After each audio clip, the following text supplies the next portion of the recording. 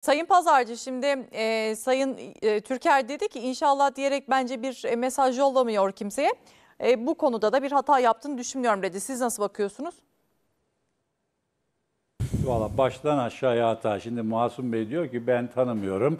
Şöyle birkaç tane e, doneye bakarak şöyle şöyle düşünüyorum ama ben Mansur Yavaş'ı iyi tanıyorum ve Murat Köse AK Parti e, Büyükşehir Belediye e, Grup Başkan Vekili e, Murat Köse'nin bir lafı var, bir sloganı var.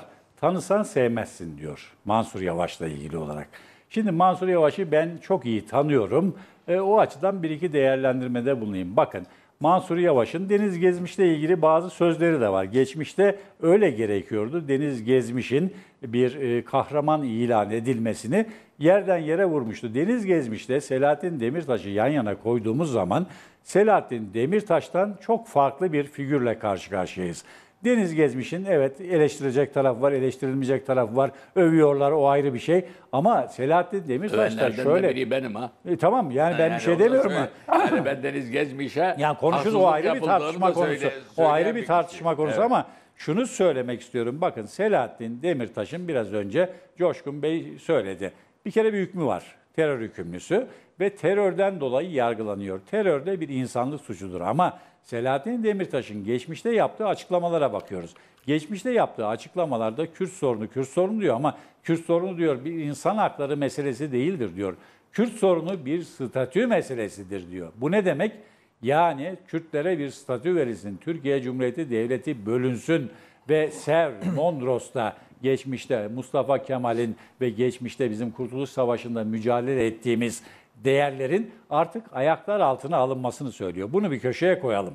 Öbür taraftan Yasin Börü ve arkadaşları bir sokak çağrısı yaptı. Kafaları taşla ezilen insanları da bir köşeye koyalım.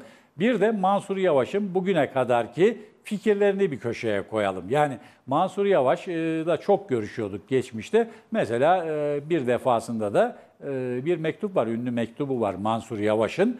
Ne diyor? E, İşte Devlet Bahçeli'ye gönderip gönderilmediği e, belli olmayan bir mektup e, gönderildi mi bilemiyorum ama o fikirleri, o mektubu yazma e, fikri e, beraber tartıştık, konuştuk. Devlet Bahçeli'yi Milliyetçi Hareket Partisi'ni Cumhuriyet Halk Partisi'ne çevirmekle suçluyordu. Milliyetçi Hareket Partisi'nden ayrılırken ve CHP'ye alabildiğine eleştiriler yöneltiyordu. Sonra ne oldu? Kendisine sorular soruldu. İşte CHP'den aday olur musunuz, olmaz mısınız diye ve Mansur Yavaş kesinlikle Cumhuriyet Halk Partisi'nden aday olamayacağını ifade etti. Sonra ne oldu? Evrildi, çevrildi. Cumhuriyet Halk Partisi'nden aday oldu. Şimdi de evrildi, çevrildi. Selahattin Demirtaş'ın e, içeriden çıkmasını isteyen insanlara inşallah diyebiliyor. Yani siyaset biraz tutarlılık gerekir.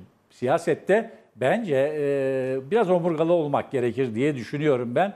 Siyaset ne pahasına olursa olsun kazanmak, ne pahasına olursa olsun insanları mutlu etmek değildir. Siyasetçi jel gibi bir şey değildir, nesne değildir. Yani nereye koyarsanız oraya yapışmaz. Siyasetçinin de belli değerleri olması lazım.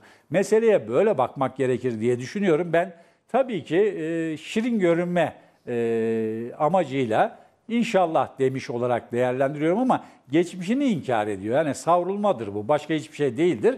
Devam ediyorum. Şimdi Masum, Masum Bey dedi ki e, çok çalışıyor. Daha önce de anlattım, bir kere daha söyleyeyim. Bence tek bir icraatı var. Ankara'da büyük icraatı var. TRT, Masum Bey herhalde uzun süreden beri Ankara'ya gelmiyor. TRT önündeki kavşak. Ve e, bu işte o 8 ayda kavşaktan haftada üç kere geçiyor. Şöyle 8 ayda bitecekti. 5 ayda bitecekti zannediyorum. 8-9 ay oldu. Şu anda ne yapıldığı belli değil. Ve bu bir e, şeye verildi, müteahhite verildi. Müteahhit çalışıyor. Daha Ama fazla Emin Ankara Bey. Büyükşehir Belediyesi Benim ev de orada. daha fazla. Yani 8-9 ayı buldu. Ben 5 ayda bitecekti diyorum. Ve Ankara Büyükşehir Belediyesi de iş makineleriyle e, oraya yardım gönderiyor. Hala ne zaman biteceği belli değil ve gerçekten insanla, Ankaralılarla alay eder gibi oraya küçük bir pankart asmışlar. Benim kız e, fotoğrafını çekmiş gönderdi. Ben önünden geçiyorum. e, göremiyorum zaman zaman görmedim. Aynen ifade şu. Diyor ki özür dileriz Ankaralılardan.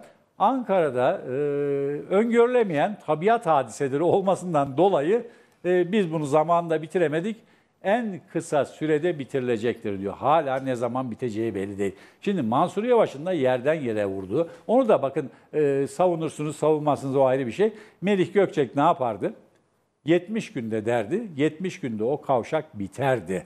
2 ayda derdi, 2 ayda o köprü biterdi. Peki. Bir gün e, sekmezdi. Şimdi Mansur Yavaş böyle devam ediyorum. Ben Ankara'da gerçekten vahim şeylerle karşılaşıyorum. Bir takım köprülü kavşakların üstüne yazılar yazmışlar. Ne yazıyor orada biliyor musunuz?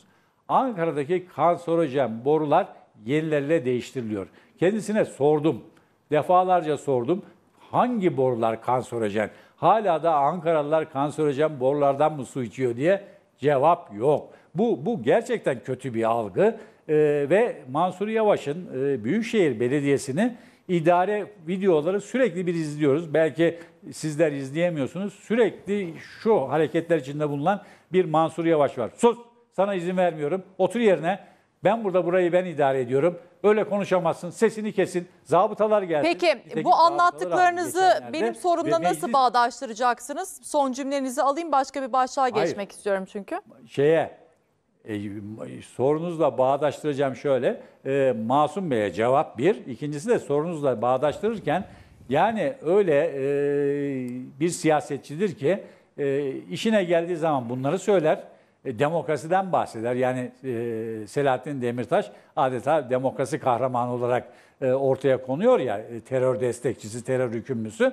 Ama öbür taraftan da demokratik talepleri Ankara Büyükşehir Belediye Meclisi'nde dile getirtmemeye uğraşan, insanların mikrofonlarını kesen, içeriye zabıta gönderip ki bu bence suçtur. Yani Türkiye Büyük Millet Meclisi'nde polislerin içeriye girip, e, genel kurula içeriye girip milletvekillerini tartak- tartaklayıp dışarıya atması gibi bir şey içeriye zabıta davet ediyor. Devam ediyorum. Mansur Yavaş'ın videoları var meclis toplantılarında belediye meclis üyelerinin üzerine saldırıyor, gidiyor yani ve kendisi yakalanıyor. Kavga etmeye çalışan bir siyasetçi. O açıdan yani tanısan sevmezdin derken e, Murat Köse doğru söylüyor. Ben Masur, e, Masum Bey'in de biraz daha iyi tanıması gerektiğini düşünüyorum. O zaman herhalde fikirleri değişir. Yani Şimdi bir başka başlıkla devam edeceğim müsaadenizle. Kavşaktan da geçiyorum. Yine de iyi çalışıyor. Peki tamam. Ee, herkes görüşünü beyan etti. Teşekkür ediyorum. Şimdi